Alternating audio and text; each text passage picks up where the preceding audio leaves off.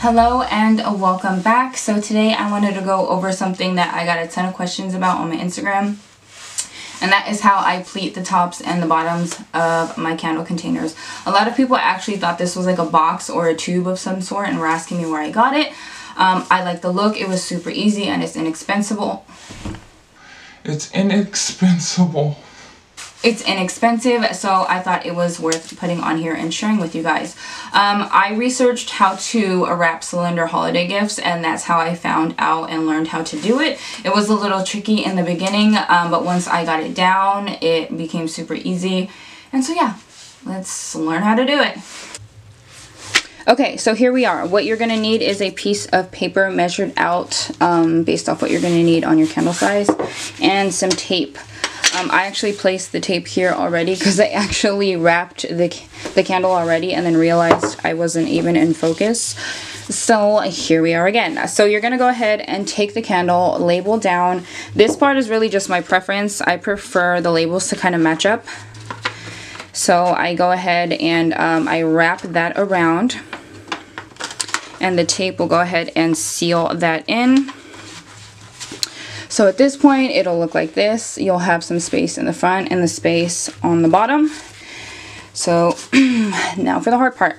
So there is an overlay here as you can see. So what you're gonna do is grab this corner from the inside of the um, paper and push it down. And now this is where you use your other finger. I don't think I can do this on camera. Your other finger to kind of pleat that down. And you always want to start off at the bottom. That way um, you can just place it nicely down when you're focusing on the top. I'm probably not showing this too well. So let me see. As you can see, you push it towards the bottom. And then while you're holding it down, you want to use your other finger to kind of maneuver the paper down that way.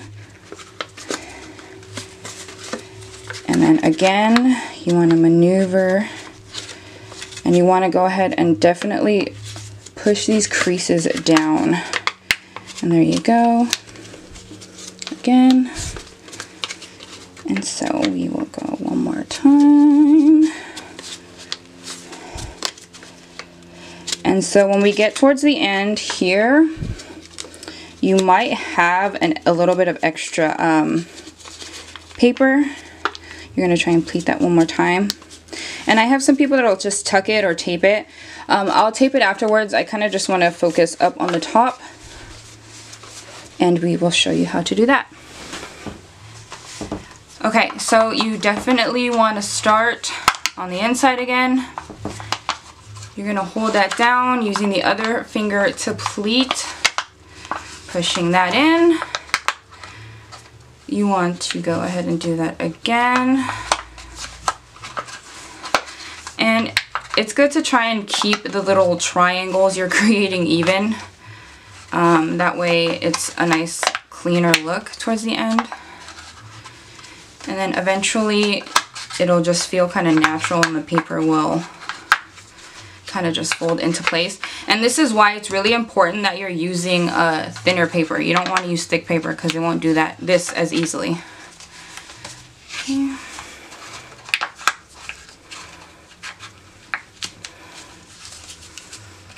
And then getting close to the end. And then here again, you're going to have a little bit extra. And then I know some people will just cut off these extras or they will tuck them in. Um, depending on what you plan to do, like if you're just going to plop a sticker on there, and I will just do that for this video's sake. Let me just grab a sticker here. So this is kind of just a spare sticker I have. They weren't printed correctly, but I'll just use that as an example. And boom, and just kind of lock it off with that.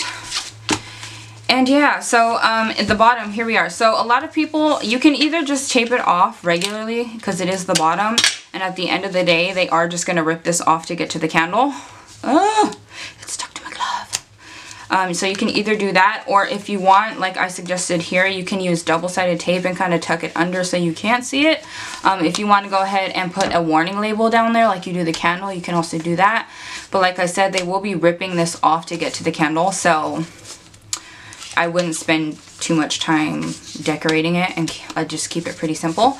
Um, so yeah, I, I go ahead and finish it off by placing one of those labels right on the top. Again, just so they know what's on the inside. And yeah, here is the one I showed you on camera. These are actually two different candles. This one's one of the botanical ones. It's a little bit smaller. This one's actually a perfect cylinder, so it's a little bit easier um, to roll than this one because it's not exactly perfect.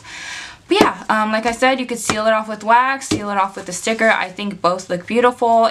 Again, it is inexpensive. I cannot stress that enough. Um, as a small business owner, you definitely want don't want to cut corners, but find ways to kind of save money and still um, have beautiful products. But yeah, and that is it. So that is how I pleat the wrapping around my candles. I hope I explained it well enough for you guys and that it wasn't confusing at all.